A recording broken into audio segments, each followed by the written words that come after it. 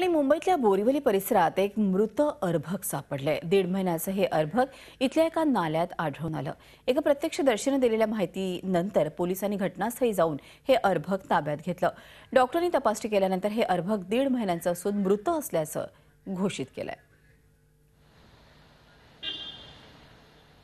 Fire brigade की मदद से help से हमने वो छोटा सा अर्बक वो निकाल के भगवती हॉस्पिटल भगवती हॉस्पिटल यहाँ पे आए। और वहाँ पे वैद्य के अधिकारी डॉक्टर जयश्री पवार, इन्होंने उसको उसको चेक किया और चेक करने के बाद उसको डेड घोषित किया। और ये जो अर्बक है वो डेढ़ महीना वन एंड हाफ़ मंथ्स का है, ऐसा उसने हमको बोला है। चोवीस तास, एक पाऊल पुढे।